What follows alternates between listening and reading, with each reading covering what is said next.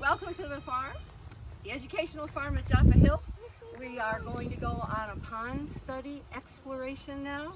So this is the entrance at the back of the barnyard to get down to the pond. And so it's a bit of a walk. It's kind of downhill for a long way, but it's worth it in the end. So come on down to the pond.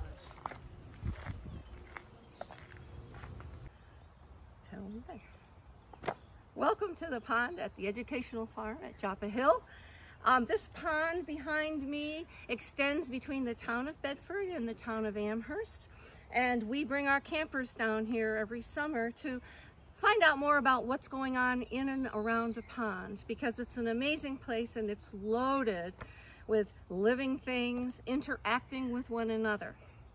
In your kit, there is a booklet called Who Lives in the Pond? And some of the things I'm going to show you today that we've scooped out and will scoop out can be found in this booklet. So even if you can't be with us today, which I'm sorry you're not here, when you do get a chance to go to a pond or this pond, you'll have this book to look at and, and identify some of the creatures in there. Let's start with a word about safety though. I'm going to set this aside. Whenever we study a pond, we make sure our parents know about it and hopefully are with us because um, they can help us. This particular pond is a little deep right now and when we have camp, we say to the kids, ankle deep, ankle deep, and wear boots if you can. Um, my boots are just about ankle deep. And right now the water's a little bit high. Do you need expensive equipment to study the pond? No, you don't. All you're gonna need is a scoop, and this is in your kit, and some kind of white container, just because it helps you see much better the kinds of creatures that you're gonna find, okay? So follow me down to the pond. I'm gonna show you how to use the scoop efficiently. And then we're gonna come back up here and we're gonna look at some of the things that I caught a while ago and um, talk a little bit about them. All right, come on down. All right. Right now this pond has a lot of pollen on it, so it looks kind of brown. Um, and the creatures are all kind of hiding under it. But as you look around, you'll see that there are living things that are outside of the pond as well as things that we are going to find that live inside the pond. The deer, the otters, the beavers, all of those, the foxes, they need this water obviously to drink. But there are other creatures that need it for their life cycle so that they can be, um, their eggs are laid in the water, they hatch in the water, and then eventually they turn into adults that fly off, such as a dragonfly, okay? So using this equipment, very simply, there are a couple of things I urge my campers to do. One of them is hold it sideways, scoop along, usually where there's a lot of yucky stuff, because yucky stuff has a lot of good things in it. And then once you bring up the yucky stuff, you examine it and you look carefully to see what might be hiding in there. Right now in this yucky stuff, I'm not seeing much crawling. So the second thing about all of this work that we're gonna do today is patience. because you just never know what you're gonna find. So I'm gonna take another little scoop over here. It looks a little yuckier.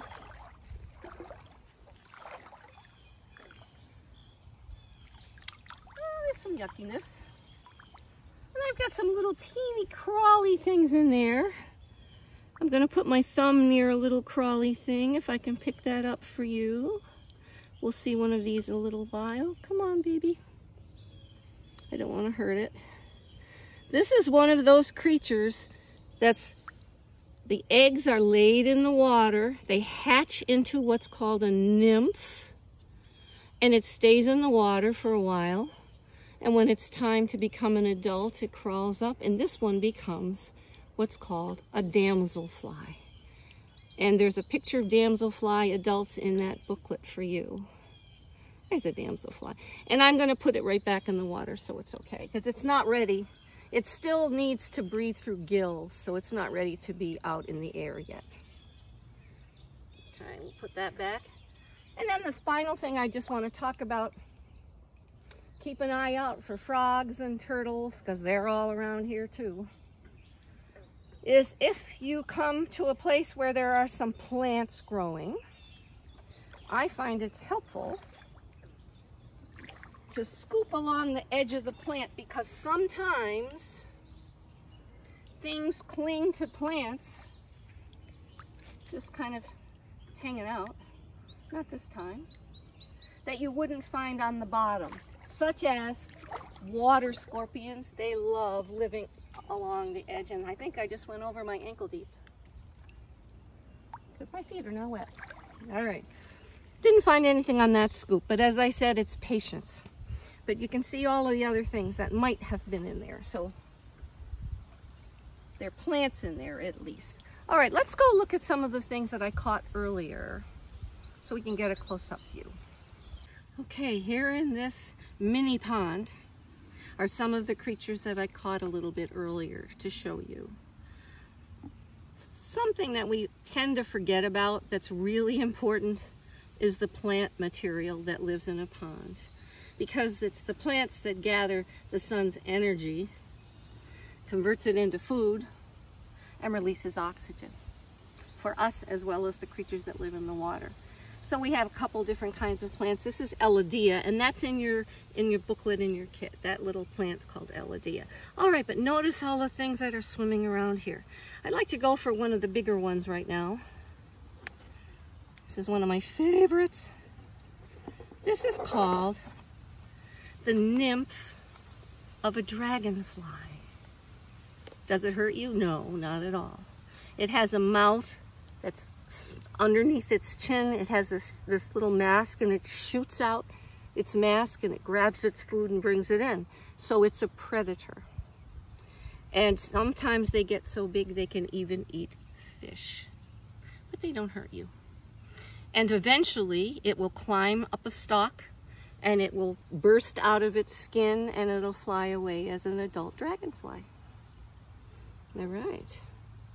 So some of the others are just a little harder to see. So I'm gonna, I have one and don't know if you can see this. I might can turn this, get the ant off. There's a little red guy running around in there. That's called a crawling water mite. And it's a plant eater. Can you see it? Is it, or can I turn it so that it's gonna be further out for you. It just seems to be staying away. Again, it doesn't hurt us. It's very important. Eats little little things, eats plants. Um, it's part of a giant food chain of a, of a pond where one thing eats the next, eats the next. So I'm going to put the little water mite in there. And I'm going to grab one of the larger damselflies. Come on out, little one. There you go. That's a damselfly. It's a cousin of a dragonfly. It's a lot thinner than a dragonfly would be. But they fly all, sometimes they're called darning needles. Can you see that? Okay. All right. And again, I could hold it in my hand. It wouldn't hurt me, but I'm just not going to do that because I don't want to damage it by accident. All right, another little guy we have in here. oh, the dragon, the damselfly wants to be there. I don't know how to get it out without harming the other. Well, I'm going to show you two things in there then.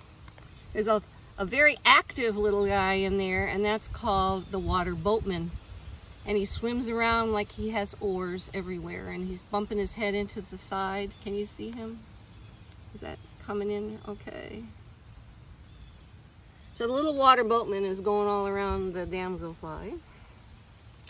And then I'm just going to show two more things for today and then encourage you to come down here sometime and look for yourselves. And this one's it looks a lot like a water boatman, but it swims upside down. It's in your book. It's called a back swimmer. And it's a predator. It likes to go after eat and eat little things that it could find and catch smaller insects and eat them. All right, so the final one, which I don't think is in your book, but I'll pick it out. I might have, I can't remember anymore. It's a water, freshwater snail. And they're important because they crawl all over the bottom and they eat algae and they keep the pond clean. And then sometimes other things can eat them. Now, on another day, if you come back and visit us here, we'd love to have you, or any pond, you might find crayfish. We have crayfish back here. We have freshwater mussels back here. We have frogs back here. But this is just to give you a little introduction to the kinds of things you can do when you go to study a pond. So thank you.